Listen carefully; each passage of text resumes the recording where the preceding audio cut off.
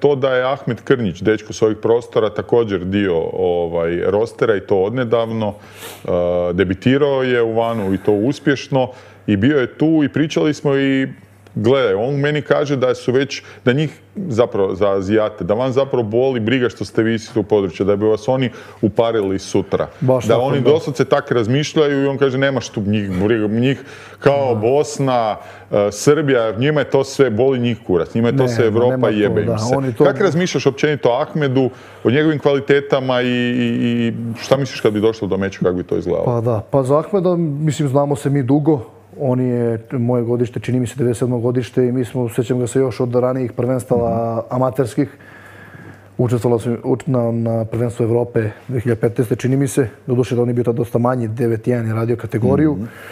Dobar borac, e, tehnički radi dobro, kontragard, ide napred, ima kondicije.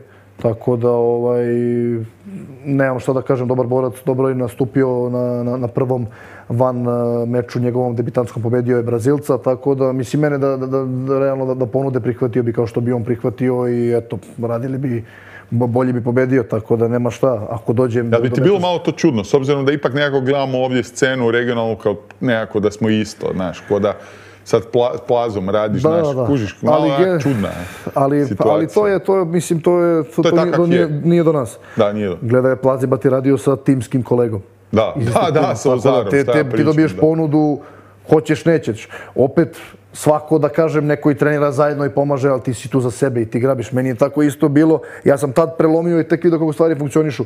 Ja sam prvi meč dobio ponudu protiv Erola Zimmermana, s kojim stvarno imamo odličan odnos. Mi smo i trenirali dosta puta i, A vi što čuje- nisam znao? i čujemo se Erol je baš burazer, da, i mi, mi pošto imam, imamo zajedničke prijatelje u Holandiji, Bure, šta si ga onda tak prebio jebo? da, kako se zove, pa mislim, vidi, meni Ti je u njega si principu... baš prebio, Da. stari.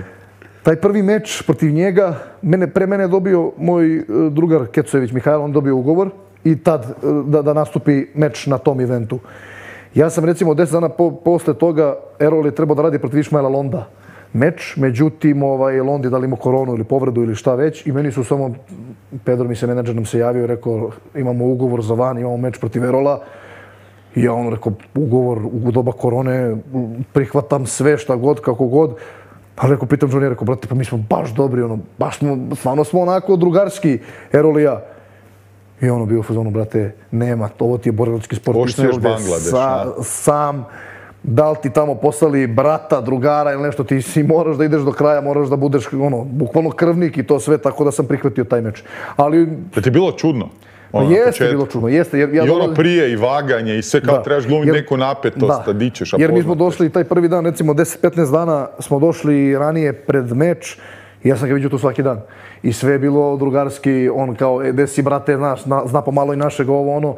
I mi smo tu pričali sve i onda vidim dva, tri dana pred meč, mene uhvati adrenalin, njega uhvati, a viđamo se tu, viđamo se na doručku, na ručku. Da, čudnije je malo. a. Tako da je bilo čudno, ali nema šta, posle meča mi smo se, znači ja sam, ja sam bukvalno bio, tek došao u sobu, on zove me on na FaceTime, on je bio negde u bolnici zato što mu je pukla, imao je već neke, neke povrede na stopalu, boga pitaj koliko je on šutirao i to sve i nešto mu je naprslo na stopalu. I čuli smo se ono preko FaceTime, on u bolnici, sve ok, ja tu, tako da je to sve prošlo sportski.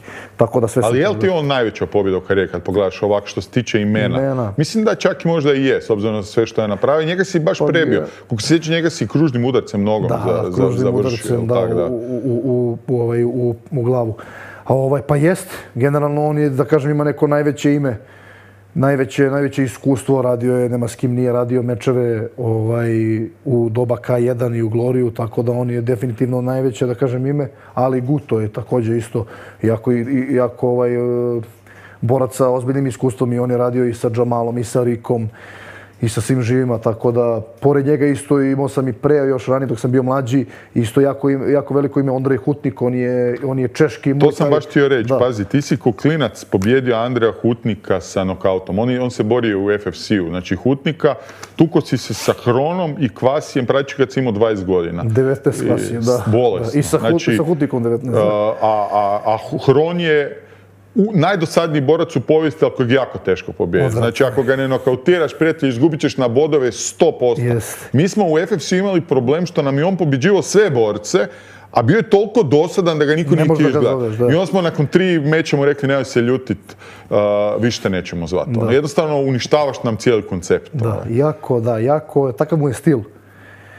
Koliko sam ja čuo, on je bio nešto jako, e, jako težak. Imao je lupam 130, 140 kila, 150, bio jako debeo i on je smršao na recimo 105-10 kila i on ima samim tim mnogo kondicije.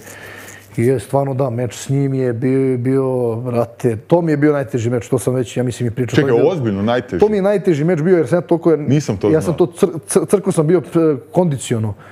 Ja sam, znaš, ono, ne boli, ništa što, što, što on udara, mene ne boli, ali ja ne mogu da vratim. I on sve vreme ide napred, ide i pogađa me nešto u kuk. I opet to nije bolelo, ali te nervira, nervira i radi tempo, tempo, tempo. Tako da mi je taj nekako naj, najteži jer nisam bio, eto, nisam ispratio taj njegov tempo i nisam nešto ni radio previše u tom meču, tako da generalno me je pobedio na poene, nisam pružio neki ono da kažem, nije bio meč blizu, stvarno, tako da taj mi je meč ono bio, ovaj, ne, nije se ponovio revanš, mislim da i neće, on je već stariji, tako da... Mislim da on, Pa da. vidio sam da je nešto radio, ali u zadnje vrijeme ni, i nema tak dobre rezultate. Ali čudan je Hron. ja se sjećam ja, kome god bi ja ponudio Tomaša Hrona, svi može. Naravno, veliko ime i svi misle svi će ga pobijediti. Stari nitko ga nije uspio pobijediti. Znači, svi se dobro drže prvu rundu i onda drugu on preuzme. Tap, tap, tap, noga, tam. Tap, tap, tap, noga, tam. to je sve tam. lagano, on ti Tap, tap, da- tap, noga, tam. I ono, ekipa se samo pogubi. Treću rundu ne mogu stati na nogama. I svi isto izgube na odluku. I sad kad pogledaš njegovu biografiju na Wikipediji, pogledaš kog je on sve pobjedio, nema kog nije pobjedio. Da, dosta, dosta